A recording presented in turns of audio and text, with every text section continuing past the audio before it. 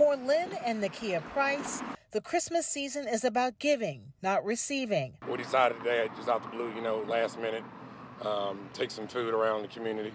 You know, um, I just felt like it was what's needed around the holidays, you know. The founders of Houston's famous Turkey Leg Hut giving up their traditional gift exchange, instead spending part of their Christmas helping their neighbors in need. Yeah, One, two, three. Loading 10 coolers filled with various cuts of beef. So um, I teamed up with um, Jazz Prince.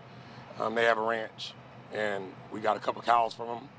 Um, and we're taking meat, and the meat should last the people a good two, three months. And loading up a thousand turkey legs. To pass out to people living in Cuney homes in Houston's third ward. You know, I was raised at around here, right down the street. So I'm going back to my community. Thank you. It's a Christmas surprise many didn't see coming, including the president of Cuney Homes Association. We had just left from up here going home and I, I got this call and this is such a blessing. I mean, God always surprises me. And look at the people that he sent here. Now the turkey leg hut here in Cuney Home, oh my God. Thank you, Jesus.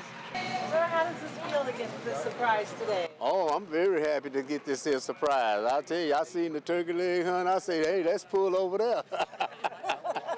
yeah, I was real surprised to see this here. This means a lot. I'm a single parent and I'm actually raising my twin sister's daughter. So this really gives back to the community and makes this neighborhood a better place. And a teaching moment for the Price's children. I think that's what makes it more most important for them to see that it's not about you. It's not about it's about others. It's about helping others.